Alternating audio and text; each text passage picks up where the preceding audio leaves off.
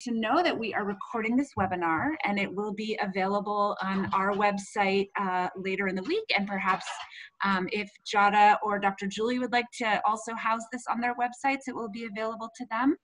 Uh, if anybody does have a question or a comment, please make sure to type it in at the bottom and we will do everything we possibly can to get to everybody's questions and comments. But without further ado, it is an honor and privilege to uh, introduce you to both of our speakers this evening.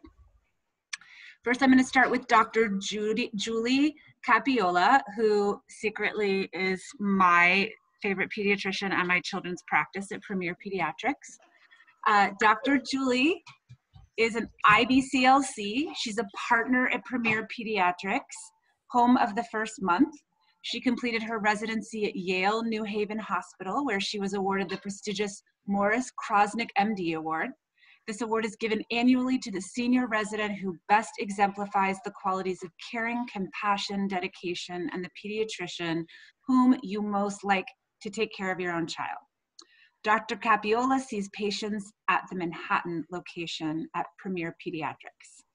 We are also going to be hearing from Jada Shapiro, who another personal connection was part of the delivery of my first son.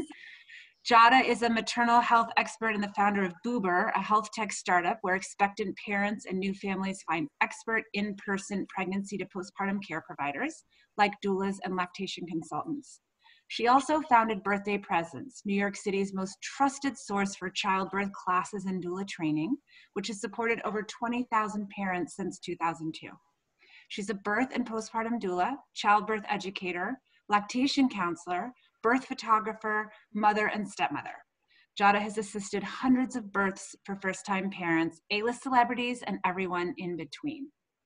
So it is my honor to hand this over to both of you lovely ladies. Thank you again so much for being a part of this evening's event. Thank you. Thanks, Paige. Thank you, Paige, for having us. Yes, and thank you so much for the Motherhood Center and all the amazing work that you have been doing. So we're super, super happy to be part of this um, and having this talk with, with you and with, yeah, so let's take it away. Um, Dr. Capiola and I have had lots of opportunities to talk together and share information. So I guess we always you know, it's been a few weeks actually since we've talked, so let's update, you know, everybody and just here in terms of, you know, today we're talking about newborn health and safety and lactation as you are a pediatrician and a lactation consultant.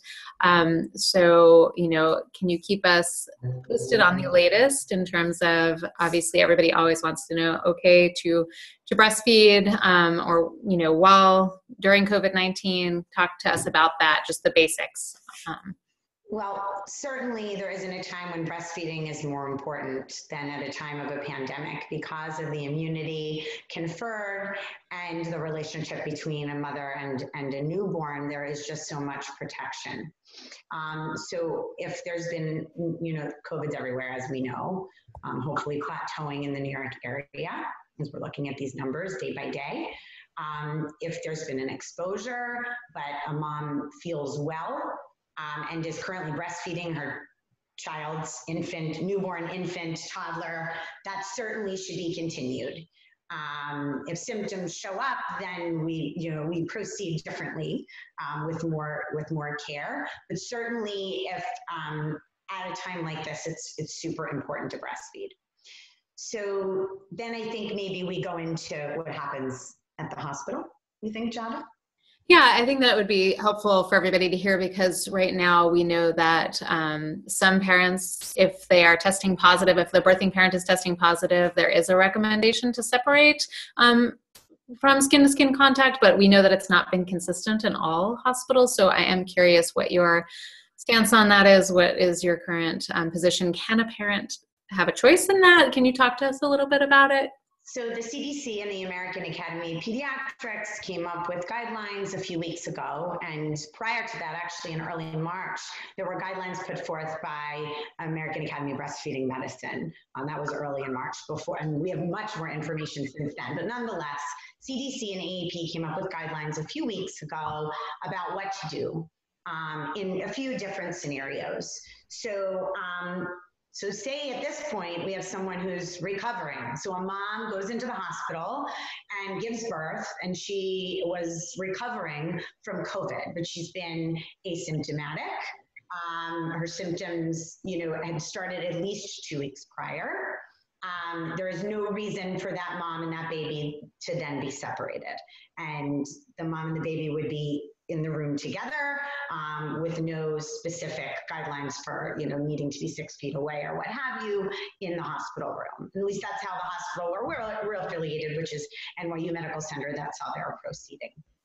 Um, so next scenario, you have someone who maybe has some symptoms or not, but is certainly a person under investigation, a PUI. So maybe someone in, you know, one of their close contacts had symptoms, or uh, maybe they have some symptoms that are vague, but we don't have a confirmed COVID diagnosis.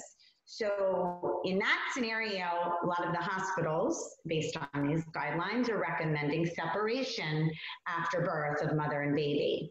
Um, so they're recommending total separation, and the baby is put into like an isolette and also isolated from other infants in a separate newborn care area.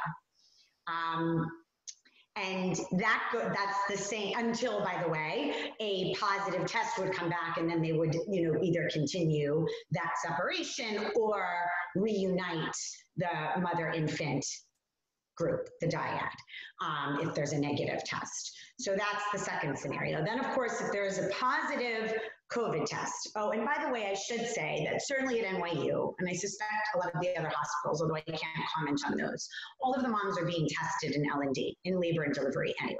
That's the protocol there. Um, can't comment, like I said, about the other hospitals.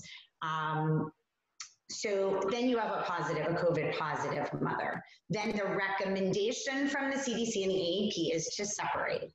Um, now, the guidelines say that someone, that a mom can decline to, to agree to separation. Um, and then the mom would wear a mask, um, wash, wash hands or somehow sanitize, whether it's you know alcohol-based sanitizer, soap and water, um, hands and breasts in case those breasts are exposed and there may be some respiratory droplets of the virus present on the breast. Um, and then breastfeed, but then immediately separate, and the baby would need to stay six feet away for any other care. Um, any other time when feeding isn't actively happening. Um, and then the same thing would go if the mom was choosing to pump. You would also do mask wearing, hand sanitizing, cleansing the breasts with either you know alcohol-based cleanser, soap and water, and then pump. And then all of the pumping equipment would then be cleaned as well as the bottles, etc., prior to them being fed to the baby by a healthy caregiver. And so, if the if the scenarios yeah. So if the lactating parent um, were to cleanse the breast, I just want to follow up on that because I think people may have questions about that. Um, the alcohol based cleanse, that would be like a sanitizer essentially? A sanitizer or just soap and water because um, the virus is very sensitive to good old soap and water. You know, when you're washing your hands, sing the happy birthday song and um, cleanse properly. Same idea would go. So a very good cleansing with soap and water or alcohol based. Yes. Okay. And yeah, I just wanted to clarify on that. If if they are breastfeeding after, do you need to remove that sanitizer? Um, right? You would so you would sanitize and then put the baby mm-hmm. breast. Probably as long as it's not moist, moist still. As long as you're dry, it should be yeah. fine. Okay, cool. Just wanted to clarify that. Definitely um, clarify the details here. Yeah, definitely. Um, and so some people would then, you know, choose to pump and express and have a healthy caregiver.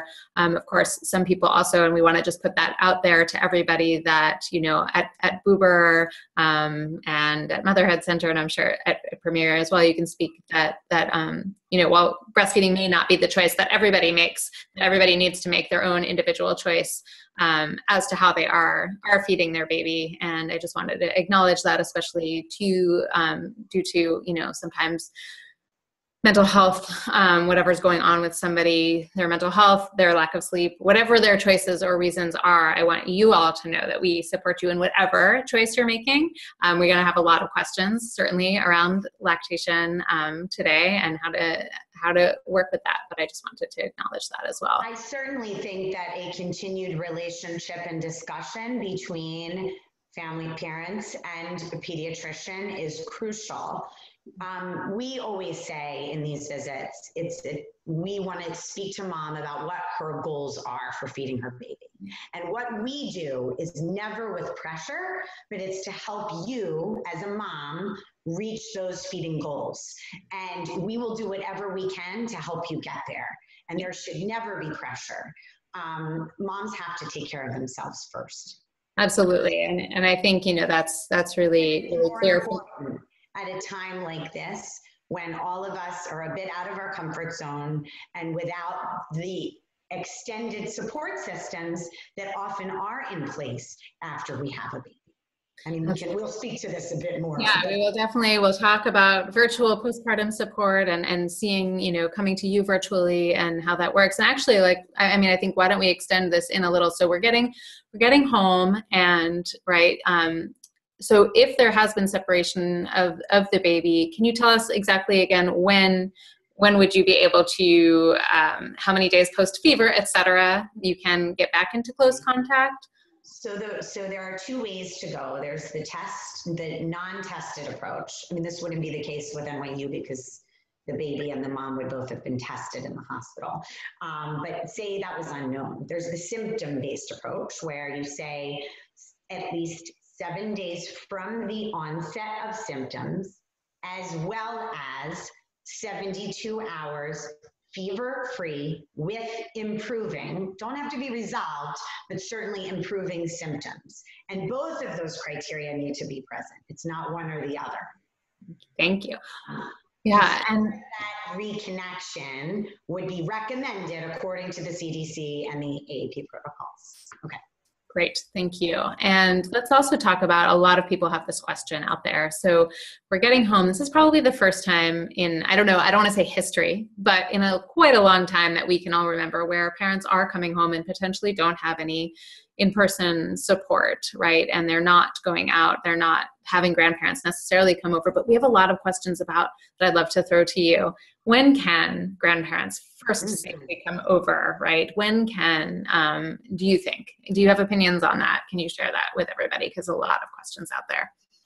I mean i think that right now that depends a lot on where where you live um, in, in the country and where the, the pandemic is in terms of numbers of cases and how those cases are trending, whether things are still heading on the up on the upswing, if things are plateauing, if things are heading down. And if you're in a low prevalence area, that is an area where there aren't many cases, the diff- the you know the recommendations would be a little bit different than where they are in sort of our tri-state New York, Connecticut, northern New Jersey area where the cases are so high and responsible for most of the deaths and cases in the entire United States. So in an area where there are so many cases, I think we just need to be extra cautious about other people who are then coming into our, our circle of safety, um, which right now it's recommended to only be the nuclear family. Um, the people that live in one in one home apartment, condo, you know, house, or what have you. Um, because bringing someone in from elsewhere brings risk to the baby potentially, and you know that family who has just been in the hospital, you know, also could have some risk for someone who is older, like a grandparent who already just by age likely is in the higher risk category. So the risks really do go both ways.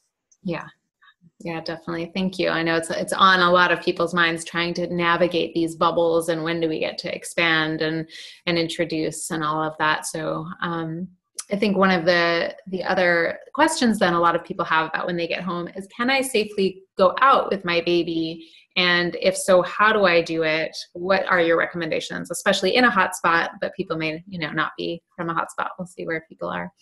I mean, look, we all need to get out in the open. I'm a mom of three. Like my kids need their outdoor time like everyone's do. I, I need them to have their outdoor time.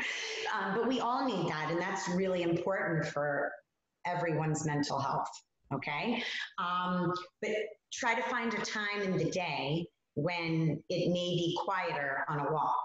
Look, families with newborns are up at any hour at any time so potentially doing an early morning walk or a later evening walk when families are already inside and maybe having dinner etc it might be a quieter time and it might be easier to have that social distancing um, and then you can take a walk in the stroller with the carrier, cover the baby, wear your mask, etc., and try to take sort of the off the beaten path you know ways around the neighborhood or the park where or there are fewer where there's less traffic or there are fewer people. And and do you are are people putting masks on babies? Do you recommend that? I mean i've seen it. What what is your thought?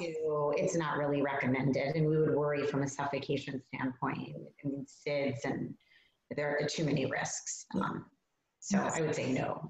Just want to be clear and put that put that out there as people. I, I can't even get my three year old to wear it, and you know, so let alone a younger toddler or certainly a baby. But that's even more for safety than for practical reasons. So speaking on on kind of you know obviously limiting our visiting, um, I, I wanted to talk to you and put out to the community about the pediatrician visits. So now that we've been through this for some amount of time, still would like to hear from you. So, what are the most important pediatric visits that people should be doing now that you've had some time to get into doing pediatric visits mm-hmm. in telehealth? What's that been like? What what can you diagnose through through telehealth, and what what do, does somebody need to come in for at this point? So, an in-person newborn visit within a couple of days of discharge from the hospital is crucial, and this is even more important now because moms are being are uh, their discharge from the hospital is expedited um, to often postpartum day one, the day after delivery, or post-operative day two, which is two days after a C-section.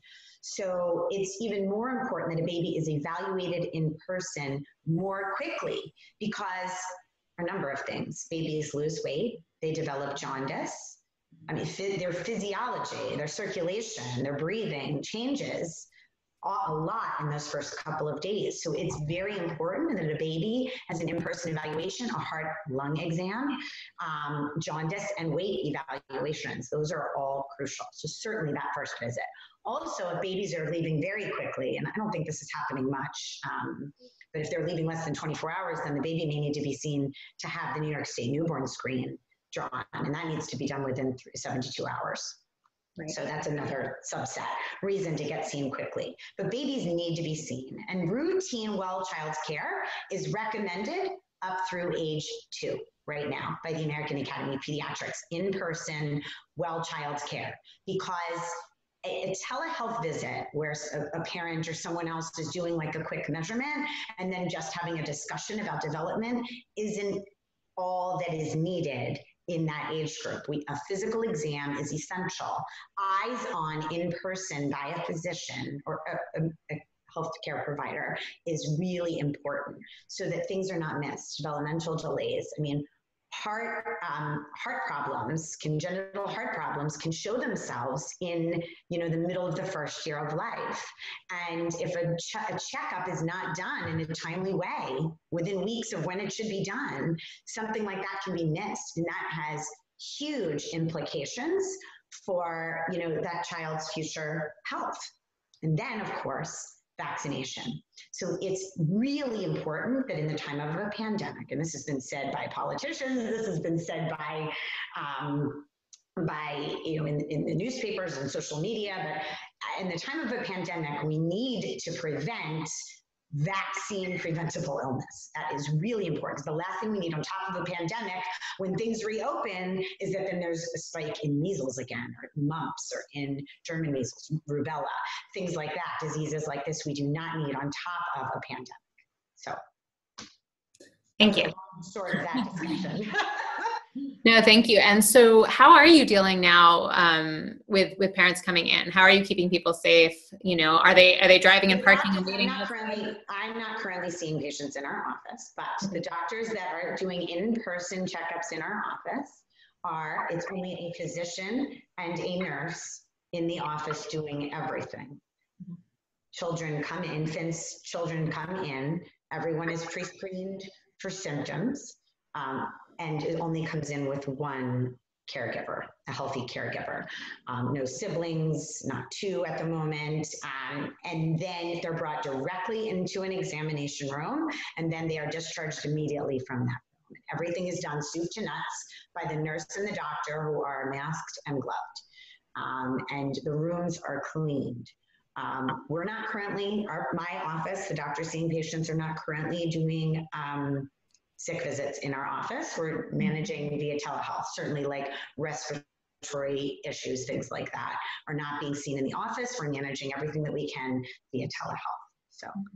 And so, you know, one of the things I know we've talked a few times about is this idea of, of how we're kind of watching our own baby. Are we, you know, are we weighing our own babies? We talked a bit about having scales at home, and now you've had we've had a bunch of weeks to deal with this. Are you mm-hmm. finding that more people have a scale at home? Are they I guess we're always on our side at, at Boober and, and on the lactation side, we're always worried about people over monitoring their babies you know, and wanting to weigh it every, you know, every day or every every other feed and getting anxious. And so I'm curious, with more people having scales at home, um, how are you helping people not to over monitor but to use it wisely? What's your recommendation or thought on that? I've always said, as you say, we never recommend having a scale because then people tend to get sort of obsessed with and caught up in weights before and after feeds and it can be very anxiety provoking to keep checking weights before and after. And then how much did the baby eat? Which side? Did the baby just make a wet or a dirty diaper? And how does that impact the weight now compared to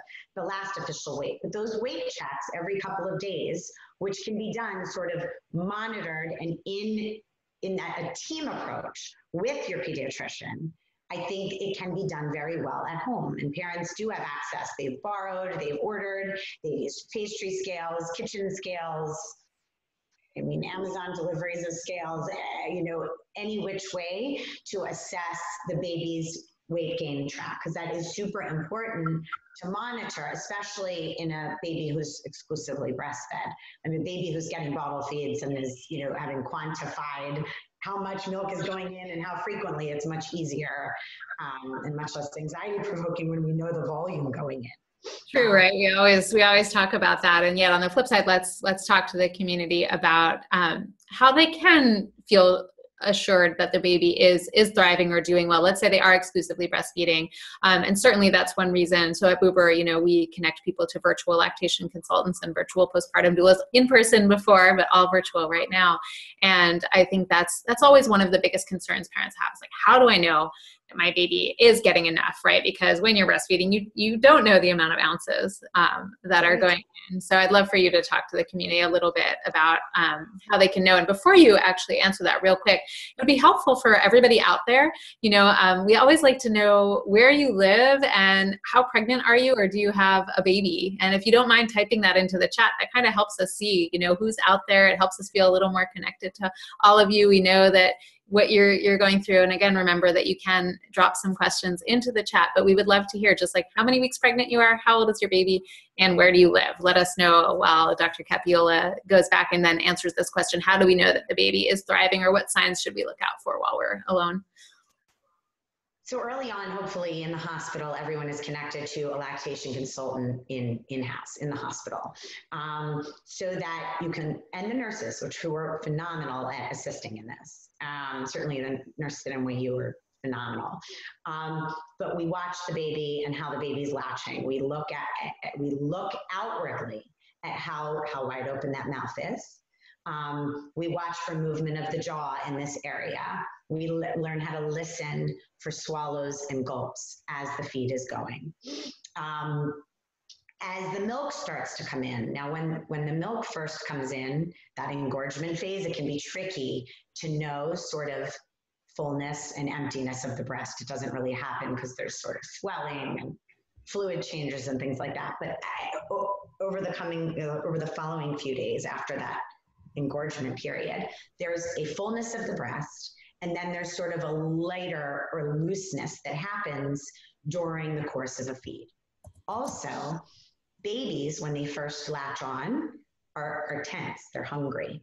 So they tend to be tightly fisted, you know, elbows flexed, knees up, ankles flexed. And as they feed, and we look at those outward signs, like I talked about the gaped open mouth, the movement of the jaw, the listening to the swallows, then you look at your baby um, all of those joints start to relax. The elbows relax, the ankles, the knees, the hips, and the baby has like the drunken sailor look. We lift the arm and the arm sort of flops down. And that's a baby who's getting fuller and more satiated.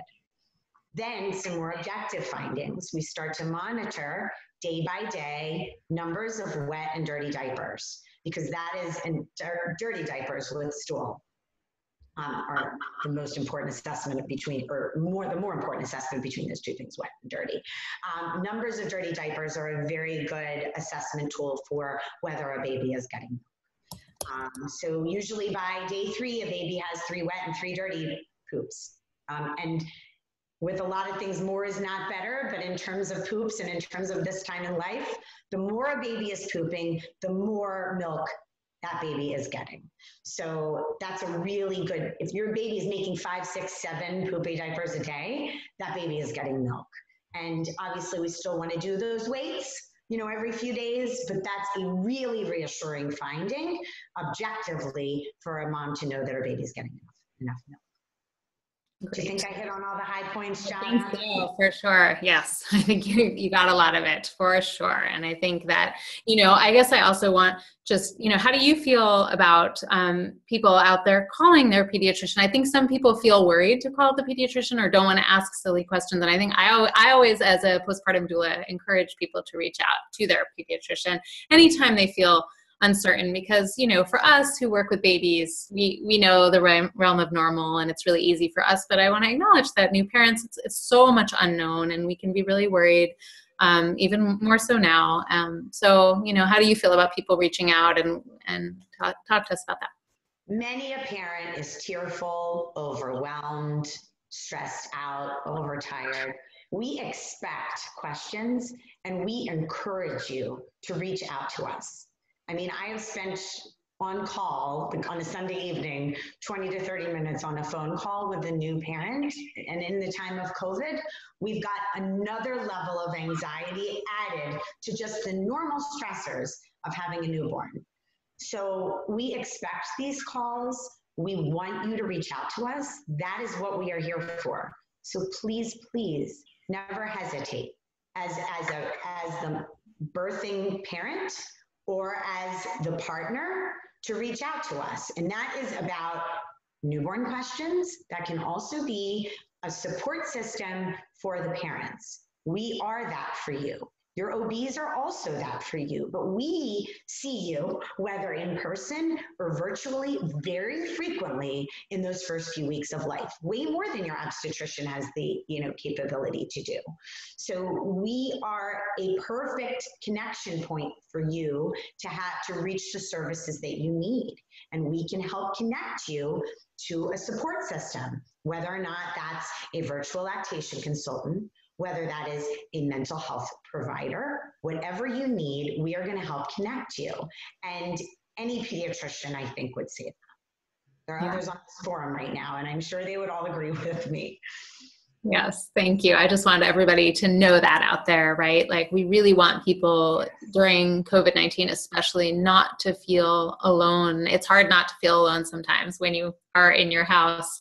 Um, people, Jada, apologize for paging the on call doctor now than ever before.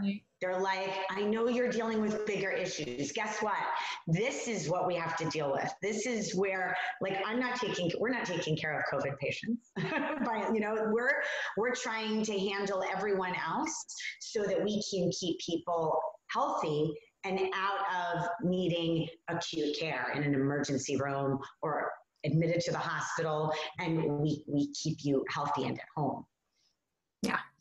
Thank you. No, I think more important now. It's, it's, super important. And I think, you know, just in terms of, I think that's where some of these virtual visits actually really provide that, that sort of lifeline for people to feel connected, you know, so obviously reaching out to your pediatrician, um, you know, reaching out to the motherhood center if you need support and you're feeling like you're struggling or you're feeling like you you are really um, having a hard time handling all of the emotions that go into all of this um, reaching out to boober if you are feeling like you're in pain you know breastfeeding shouldn't be painful right? Um, you know and it's common but it's not normal. So if it's really hurting you we want you also to to reach out because often when there's painful breastfeeding, then you're not always making enough either, not stimulating, you know, quite enough. Um, so that's something. the initial latch, I think it's important to say, we, we, I, it's funny, we get caught up in COVID and then sometimes I forget to talk about just the normal stuff. Yeah, right. And I think people want to know some of the normal stuff. on, there's that wince moment. But after a few seconds, that should ease. But if there's persistent pinch or wince for a mom, that needs to be fixed. That is a sign that something is going on with the latch. And there are a number of things that could be going on with the latch. There could be a positional issue. Um, there could be a nipple shape and you know stretch issue. Um, there could be a small mouth issue. Some babies need you know manipulation to have you know keep the jaw sort of open and forward.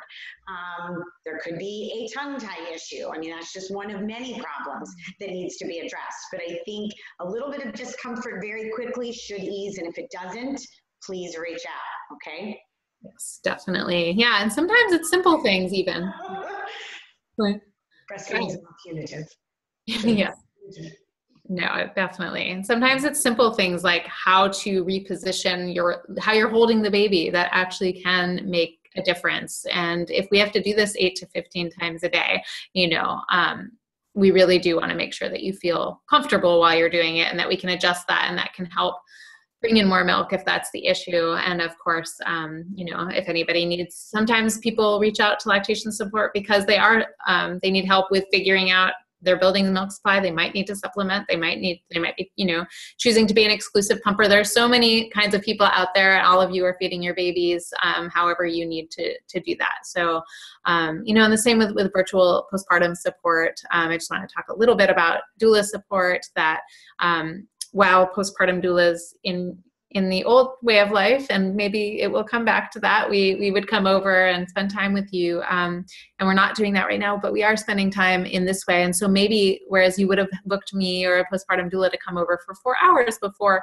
maybe now i'm going to change my day where i just visit you for one hour every few hours so i can really like pop in and provide continuity of care and allow people to ask is this normal? You know is what i'm going through normal um, when you have a baby? We're in a whole new state. We have emotions up down all around. We have questions about is this poop look right? Right? Um, you know how many diapers do you get shown? A lot of diapers? Oh my gosh, it's kind how many photos message through our messaging app, certainly. so you know we're all out here for you and and then prenatally of course to um, education. I see a lot of you are pregnant out there so i'm going to give you a little um, at Birth Day Presence if you need a class to learn about lactation um, you know there's our information um, as well. So please reach out ahead of time. So let's kind of c- continue on um, you know in terms of some people asked can i can i have a can i meet with a friend six feet away with my baby with myself you know it's a complicated issue. And so we talked about the grandparents do you know do you have um, patients who are doing that who are seeing their family members or friends at a at a distance in the outside is there anything to say to there that are people doing that. I mean, this is so tricky because social distancing really should be six feet apart with brief encounters, Right. not prolonged encounters a few feet apart wearing masks. That really does defeat the purpose of what social distancing is supposed to be.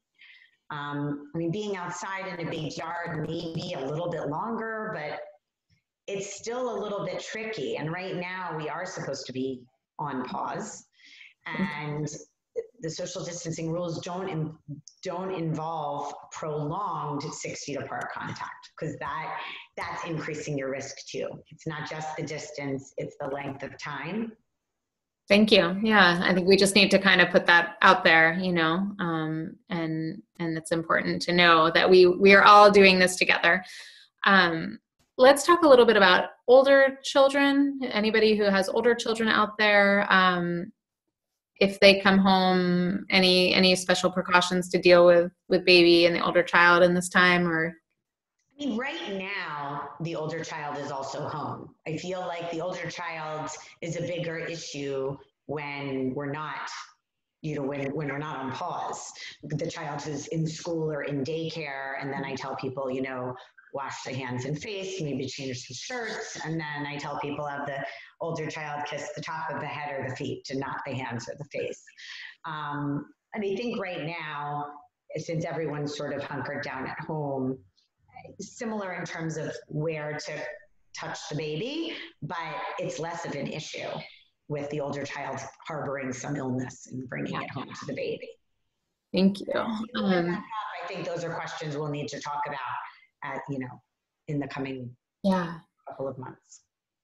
Any other things like people should think about having at home ahead of time? Um, are, are you recommending that people, a lot of people ask this question um, to me, you know, should I be buying formula ahead of time? Which in the past we also usually said, no, just buy it on the corner if you need it, right? Like, are you finding that that is important? What about thermometers?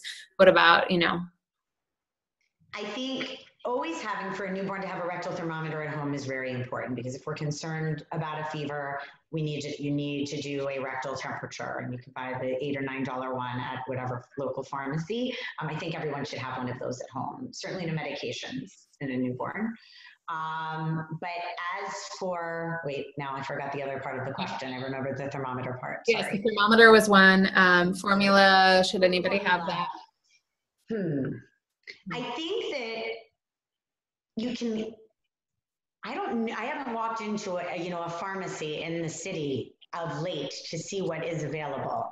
I mean, having a few bottles, a few two ounce bottles wouldn't be a bad thing. I mean, if you throw it out, because you've never used it, that's not a bad idea. But if you needed to get formula, the formula companies, if you're having trouble accessing it, have um, can let you know what retailers will, you know, have stock, and so you can reach out to any of the specific formula companies. At least the United U.S. companies, um, and they can connect you to a retailer that can provide that formula for you. Thank and you. Having a few wouldn't be a bad thing at three in the morning when everything right. goes to heck and it's you know you're stressed out. It's not bad to have a little lifeline. And then what about medicines or other things for babies you know? Do they what do you what do you recommend people have at home? Um, i think you know having some kind of like a diaper cream or ointment and but nothing else. I mean infant tylenol wouldn't be recommended at this point. Um, use medications for fever in the under eight week age group um, because we don't want to ever mask illness symptoms anytime, not just in the time of COVID. Um, so I wouldn't have any other medications, but topical stuff for, you know, diaper rash. Um, I always recommend, and this isn't really medical, but it's breastfeeding related, some kind of breastfeeding support pillow couldn't be more important. I encourage families, especially right now, if you go into the hospital, if, if you're able to bring a partner with you, that person cannot leave and come back least in NYU. You come when that partner comes during labor, and once that person leaves, that person cannot come back. So having all those supplies with you is really important. But a breastfeeding pillow, if you're going to breastfeed, is crucial. I think I agree. I love. There's a new pillow that I really, really love, which Ooh, I'm. Tell me. It's it's really amazing, and everybody has been loving it. So since I I came across it, um, it's called here. I'll type it the BB Hug Me, and um, we actually this sounds very salesy. I, I, barely post or push products that i you know i don't think we need a lot of things but they gave us a code so you guys get um, i think it's 10% off. It is i don't know you guys check it out. It's just really amazing because it actually is small and it's squishy and it and it can be tied right onto you and it keeps the baby at the right height for breastfeeding rather than too low where people are always kind of leaning mm-hmm. down and you put another pillow. So I, I've been super loving it. We had it at our studio for several months and had lots of different people try it out before recommending it, and everybody was just like, so I wish I had it here. It's at my office. Um, anyway, I, I, do think that's a good thing to have um, as well. It is really important to have the right setup for nursing. Yeah, definitely. And I always, I sat on my couch. I would have, I had the Brest Friend. I used that for all three of my kids. And then I would have a, like a couch pillow right above it so that I could lean back. And that way you're not doing anything to support the weight of the baby. All of your, all your hands are doing is positioning, not weight supporting. Um, cause you need all hands on deck. No, like I want to grab my, I'm like, while you're talking, I'm just going to grab my, my baby, right? When you're, cause a lot of people end up kind of positioning and they have their their hand really broken or they're really um, sitting with their shoulders up they don't have arms. So you know that's that's something we really want you all to think about getting into that comfortable pose if you can or if we can support you to get there. Because sometimes we find ourselves breastfeeding very uncomfortably and then you know we have shoulder pain and eight to 15 times a day it's going to cause a lot of problems if it's not done right every time really really creating thinking about creating your nest and um, and and having a spot that feels comfortable with a footrest with arms. You can breastfeed of course with a chair that doesn't have arms and you need to do that as well when you are at the dinner table but um, kind of finding that comfy place where you will be quite a lot. Because in the beginning we should say you're going you know if you are if you are breastfeeding you'll feel like all, all i'm doing is breastfeeding. That is a, a feeling that you may have in the beginning because we are feeding you know quite every hour to hour and a half sometimes. So um, a couple other people have asked some questions, so when I want to get those to you. Um, somebody has said, I have decided to have my mom come and stay with us anyway with the ba- when the baby is born. And people have, have felt that she's quarantining before, mm-hmm. um, driving to me. Two weeks before, something like that. Great. Mm-hmm. Driving to me will join our household, but I am worried that I may get her sick from the hospital from my going out. How likely is that? What precautions should we take when when we combine the bubbles? You have a thought on that?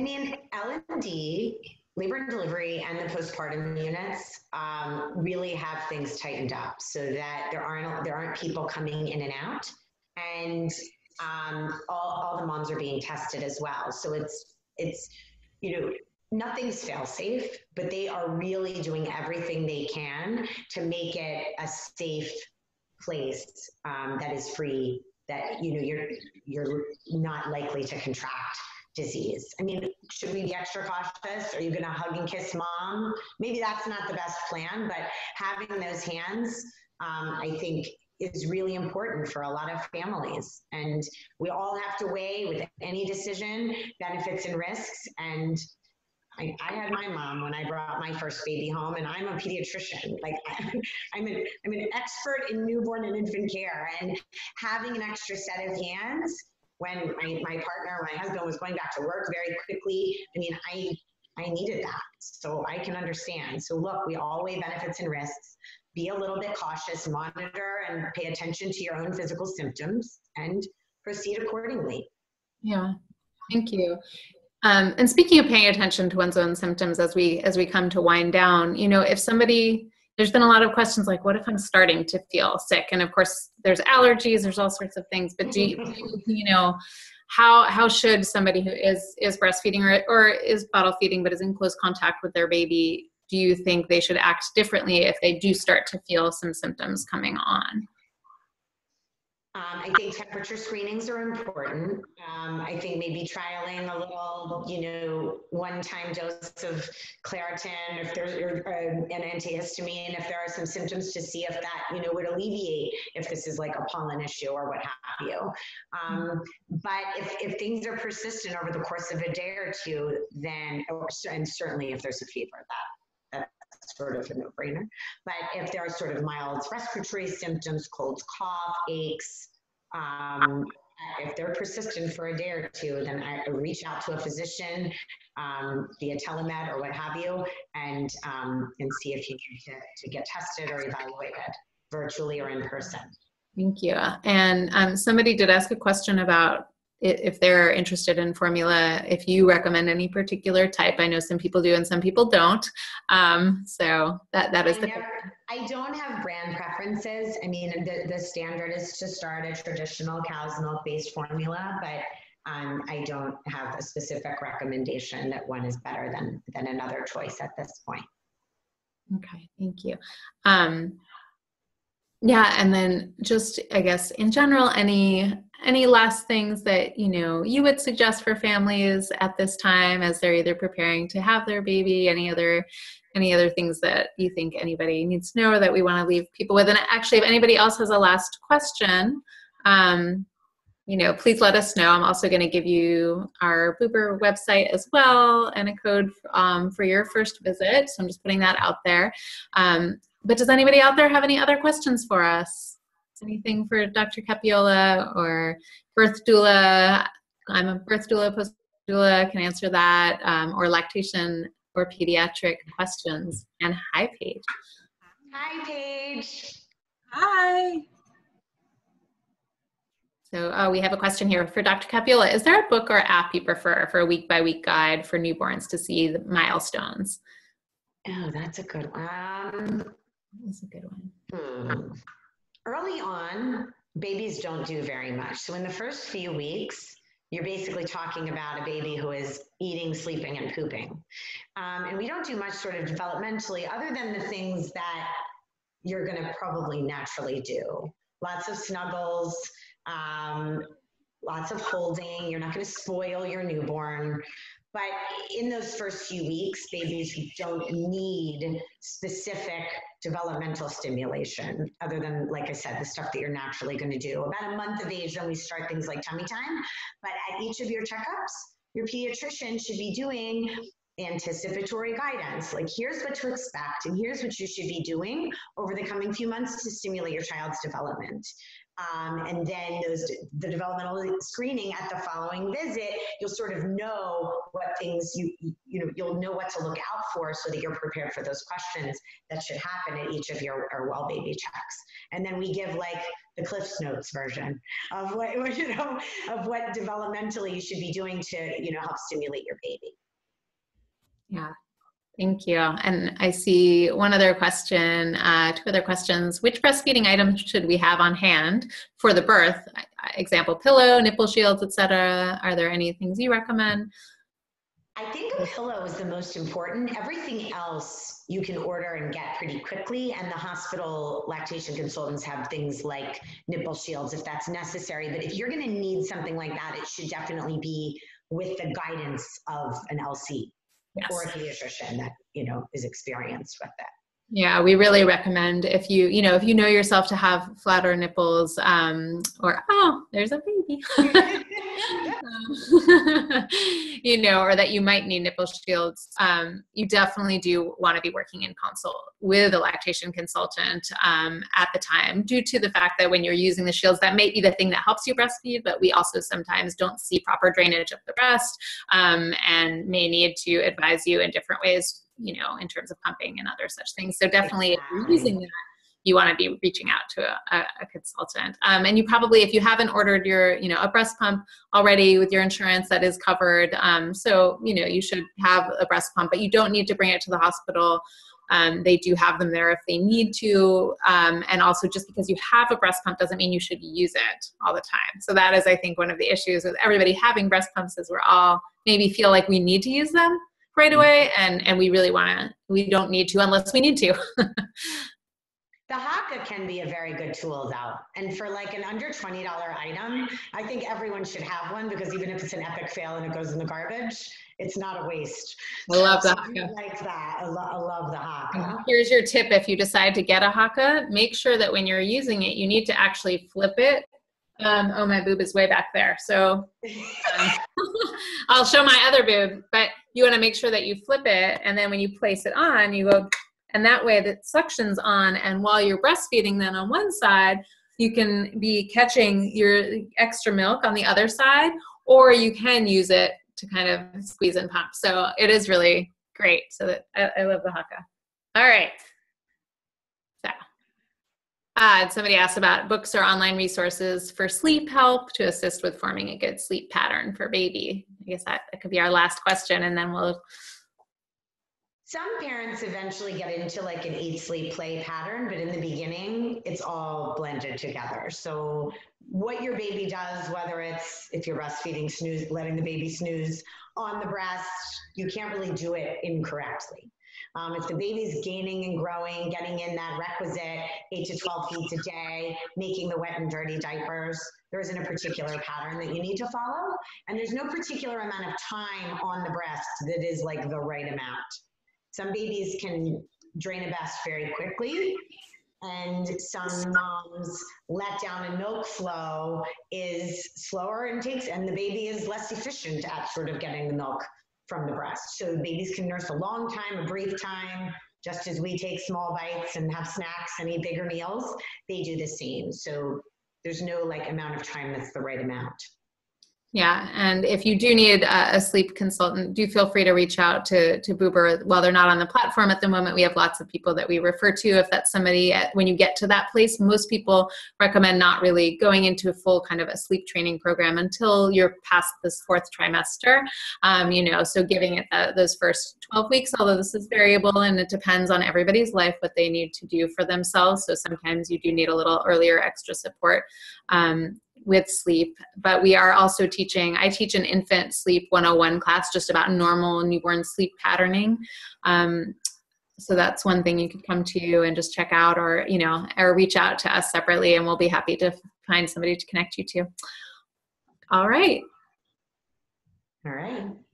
Well, I just I want to step in and thank you both so much for such important, vital information for all of the new and expecting moms out there. And I want to give both Jada and Dr. Julia plug. Um, in regards to Jada, if you're looking for support around delivery, um, if you're looking for support around breastfeeding, please look at Birth Day Presence and Boober because they are leading the charge. And I have to give a special shout out to Dr. Julie, as I started with, the pediatrician to my near and dear children.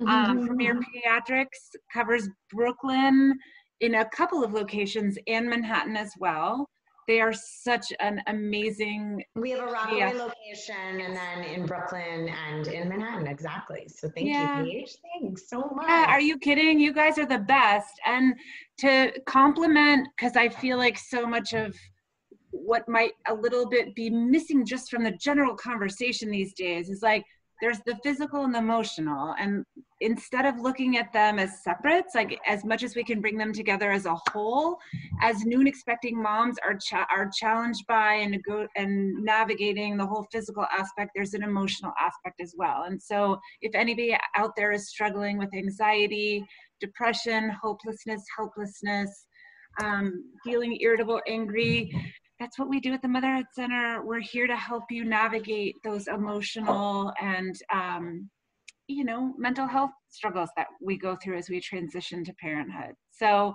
you got the full gamut here. Um, and I can't thank you both enough for everything you've done and everything that you've shared with our audience. Uh, and um, do you uh, just, you, you, guys, do you want to give any last um, shout outs about how people can find you? Yeah, sure. Oh, yeah. Um, yeah you, so for me, and I, will drop it into the chat, and I'll, i put Premier Pediatrics, Dr. Capiola. Um, but if you want to drop in the the website, feel free. And also, you know, Premier Pediatrics has their program called the First Month, which is also really um, really great as well. That that this particular practice really works to bring all of the complementary therapies and different kinds of support that you guys need, which I think is so amazing. So we'll get the website there. Um, while you find it, I'll say um, that you can find me at, like we said, Boober and Birth Day Presence. And really, if you need a virtual birth doula, um, and, and birth doulas can make a huge difference in a virtual sphere. I know it sounds kind of strange, but if you haven't thought about it, um, birth doulas also are really working with people to prepare them prenatally and can help you even try to really figure out when to go to the place of birth. So it's possible just to work with a doula virtually before leaving, if that's something, if you don't want to necessarily bring the whole doula virtually with you. Um, although I think it's a great option, virtual postpartum doula or virtual lactation consultant.